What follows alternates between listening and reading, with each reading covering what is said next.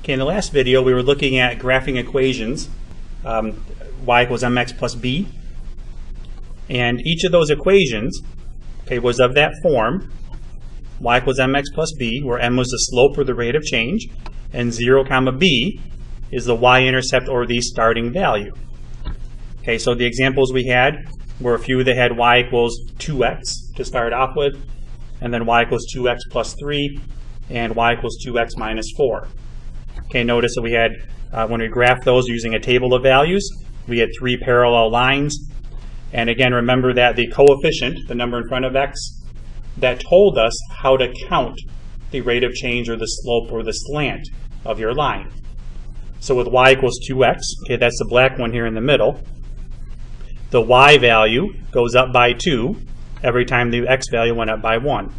So what that meant was, take any point to start at. If we start at, say, negative 3, negative 6, so this point right here, the first one in our table, if we count a y value up 2, so we go up 2, and then x value positive 1, we go to the right 1, that keeps us on the line.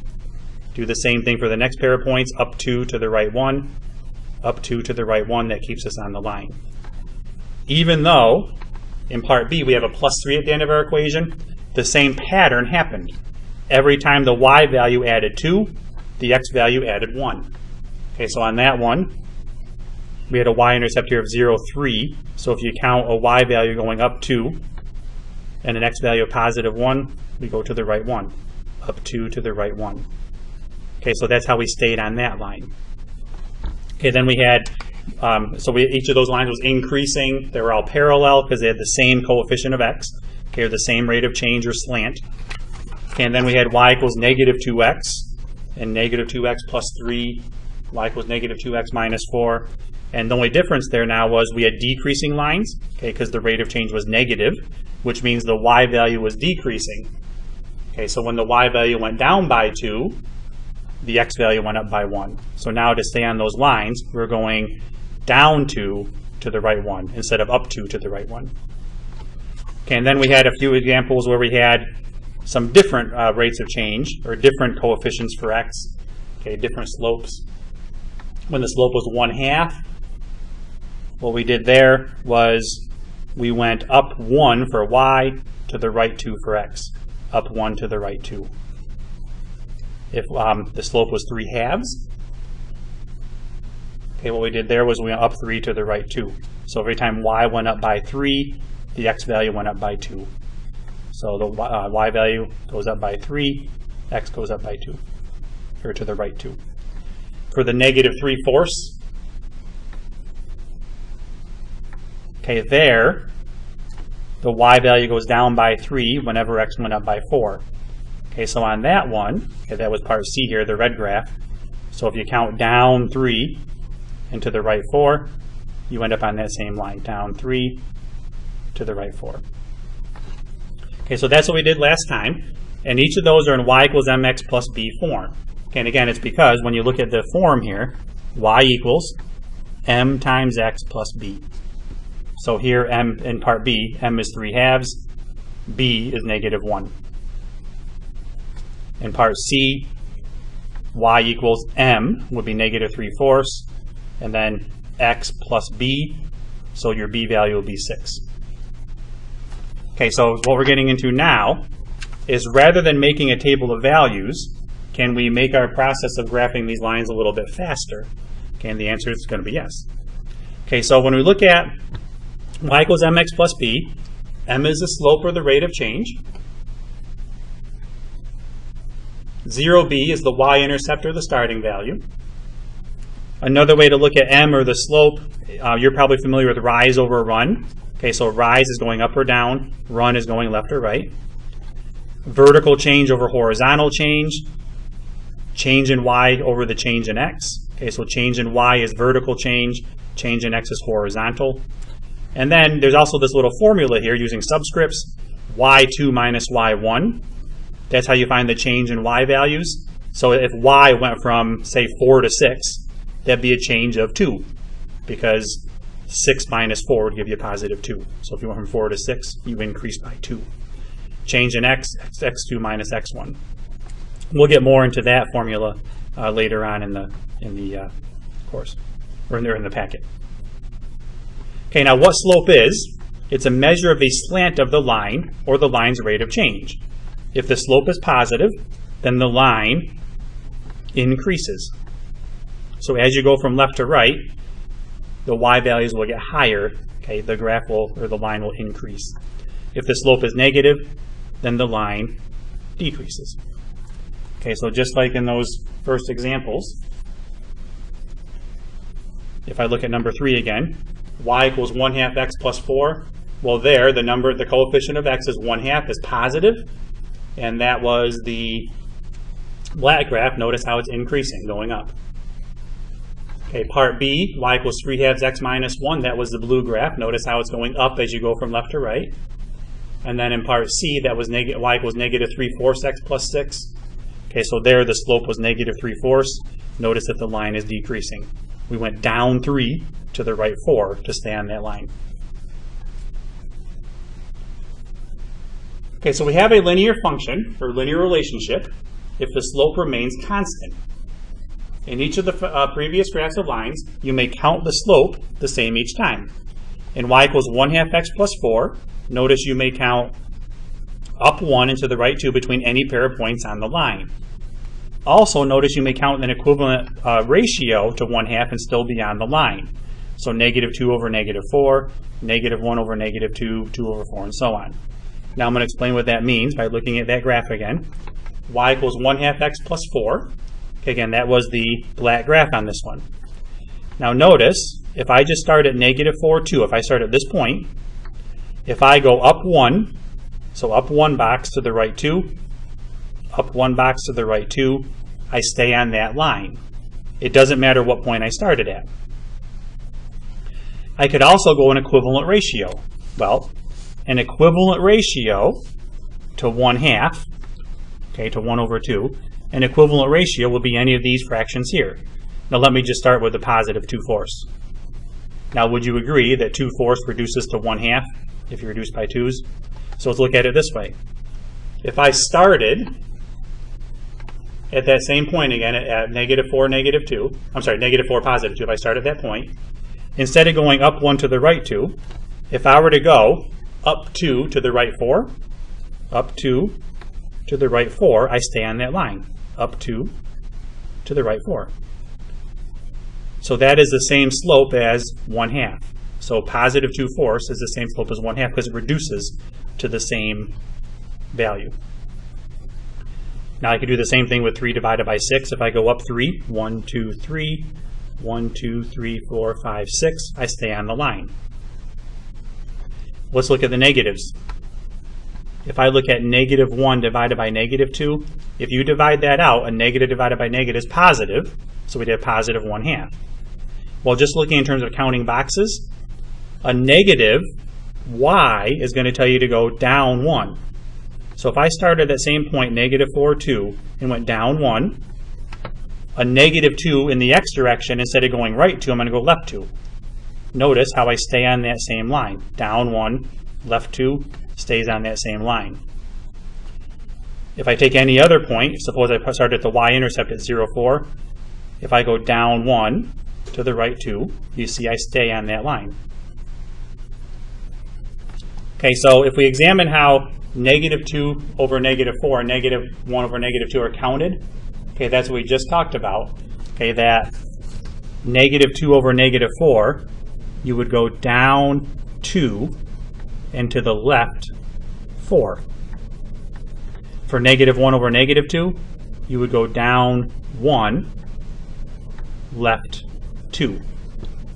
So essentially, if you did negative 2 over negative 4, you're just doing negative 1 over negative 2 twice, okay, which will keep you on that same line. Okay, so that's a very important concept is to understand that even though the number in front of x here is 1 half, you can really look at any ratio that's equivalent to 1 half as far as uh, what your slope is. And that's how you can count your slope. Okay, so in number 4, it says graph the lines with the given slope passing through the given point. Okay, so in, in part um, part B, it's given us the first one is slope is negative 2, and it passes through the point 0, negative 5. So when we look at a slope of negative 2, the idea there is to count a slope of negative 2, you want to treat that as a fraction because you're looking at the change in y over the change in x or the rise over run, okay, however you want to look at that or how you want to think about the slope. So if you make it, if you make the slope a fraction, then it'll kind of help you out. So the change in y is negative 2, which means we're going to go down 2. And then the change in x is positive 1, which means we're going to increase x by 1, which means we're going to go to the right 1. Okay. Now, the, there's a little issue there is, well, if you, if you want to count down 2 to the right 1, well, you can always count down 2 to the right 1, but from where? So they have to give you a point that we know is on the line. They tell you that 0, negative 5 is on the line, so we're going to start at that point. So we're going to plot the point 0, negative 5. So remember, those are just x comma y's. So when x is 0, y is negative 5. So we're going to start at this point down here. And then from that point, we're going to count down 2 to the right 1. That's a slope of negative 2. Now the fact that it's a negative slope tells us we have a decreasing line, which means it's going to be falling. So down 2 to the right 1. Now notice we can't plot another point because we're off the grid. So notice that going down 2 to the right 1 is the same thing as going up 2 to the left 1. Up 2 to the left 1 will keep us on that same line. Okay, so we can graph our line. We'll take our straight edge and graph it. And when you graph these, you want to graph them throughout the entire grid. Okay, so they go through the all the boxes. Okay, now it says in part B, so we have, we have the graph uh, of the line drawn. Now we want to write the equation of the line. Well, the equation of the line, you want to think about y equals mx plus b. Okay, that's coming right from up here. Okay, y equals mx plus b is the, is the uh, slope-intercept form of our line. Okay, so what is the slope of our line? The m value is negative 2. So y equals negative 2x and then plus b. Well, plus b, okay, 0 comma b is the y-intercept, or the starting value. Well, our y-intercept is at negative 5, so we have minus 5. Now, now, really, you're looking at plus negative 5, but plus negative turns into minus. So just write as y equals 2x, I'm sorry, negative 2x minus 5. Okay, let me write that neater. Okay, so there's the equation of our line. Okay, for the next two, we have a slope of 2 fifths and a y-intercept of 0, 3. So we're going to start at 0, 3, okay, which is our y-intercept at 0, 3. So we know that plus b is going to be plus 3. And then the 2 fifths, that's our slope, which means the y value changes by positive 2, so we go up 2. And then the positive 5 for the x tells us to the right 5. So from that y-intercept, we go up 2, and then to the right 5.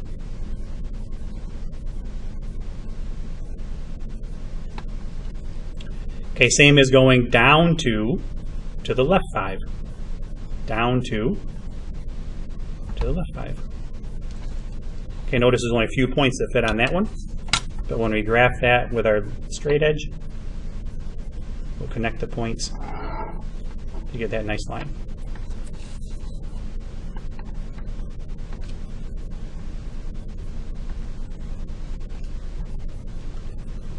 Now, um, to explain why going, um, how come a slope of 2 fifths going up 2 to the right 5 is the same as going down 2 left 5?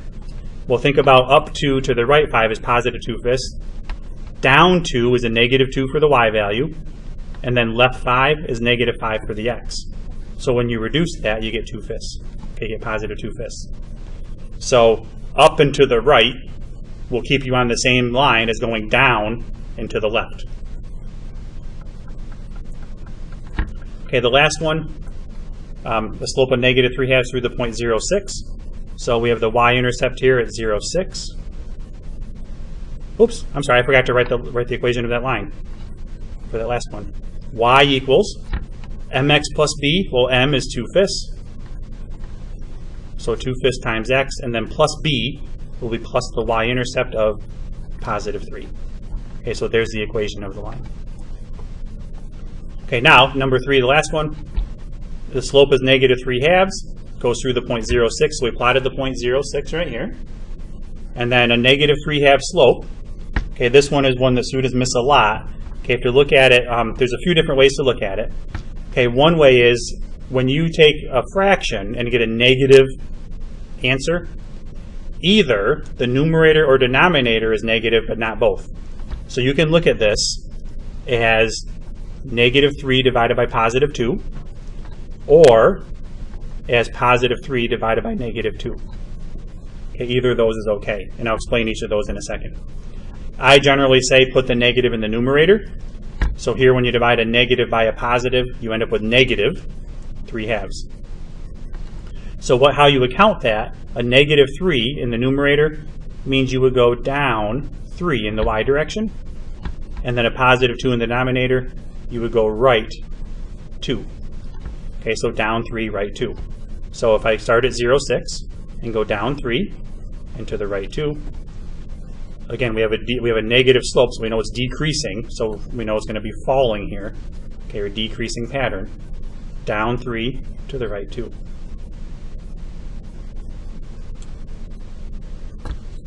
Okay, and if we connect those with our ruler,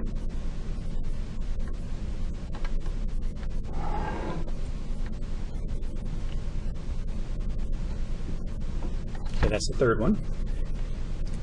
If we look at the, another way to count those those uh, rate of change or the slope, okay, notice that if I start at this point here, if I go up 3 and then to the left 2, I stay on that line. Well, that's what 3 over negative 2 would be.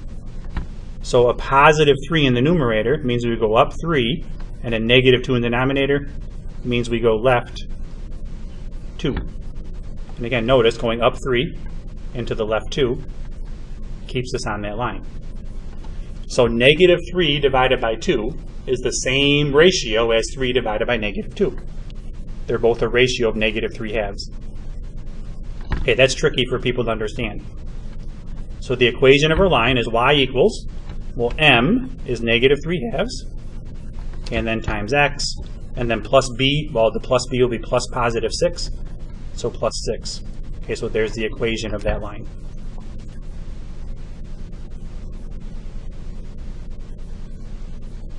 Okay, moving along. Okay, now we're going to find the slope between two pairs of points.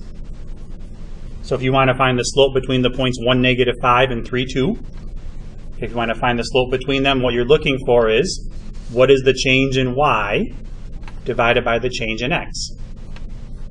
Okay, or the rise over run. Well, notice the y values here are negative 5 and 2, and the x values are 1 and 3. Now that is where this formula is going to come in that you can use. y2 minus y1 over x2 minus x1 Okay, what we're looking at is we're looking at two points now as x1, y1, okay, like your first ordered pair, and x2, comma y2, your second order pair. So if we look at it in that context, 1, negative 5, and 3, 2, that's like your x1, comma y1, and x2, comma y2. So if you use the slope formula, m equals y2 minus y1 over x2 minus x1, if you use those, well, y2 is 2, y1 is negative 5, so we'd have m equals, so slope equals 2 subtract negative 5, because it's minus there, so we're minusing a negative 5, divided by 3 minus 1. So 2 minus negative 5 is positive 7. 3 minus 1 is 2.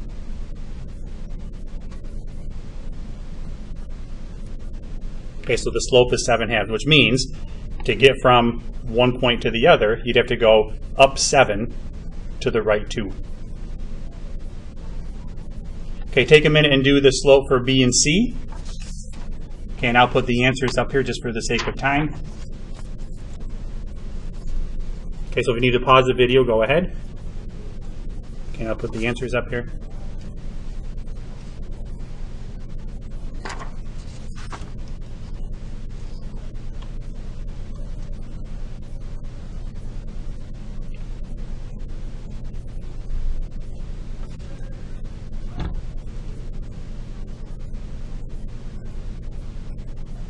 Okay, you just have to be careful with your signs. A lot of people miss these because of their signs, um, just like with the 2 minus negative 5 there.